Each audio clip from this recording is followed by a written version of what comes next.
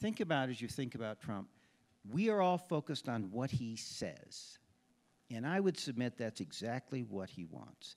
This is a man who cared, spent his whole life trying to be a celebrity. And he, he, he wants to have all eyes on him. And all eyes are on him 24 7. And he uses that to drive the discussion by one, by many times outrageous and sometimes not factually accurate statements. We're being delicate here. but there's a method to his madness because he dominates the discussion when it goes wrong in a bad direction. He comes out with another step, statement, and all the press runs to his new statement. I would suggest we start focusing on what he is doing.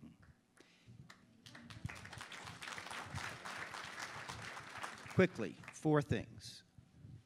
Yes, he said a lot of things about NATO he should not have said. But we on this dais and others for two decades have been pushing the allies in Europe to spend more on defense. He's actually getting them to do it. And in the end of the day, he is being checked by the Congress in terms of his ability to walk away from NATO. Um, trade. Um, he is, I think, generate. I think whether President, Cl whether Secretary Clinton had been elected president or President Trump, we were going to have to address the trade imbalances with China. Whether it was Republicans or Democrats, there's bipartisan agreement about that, and we'll see whether he is able to accomplish uh, that.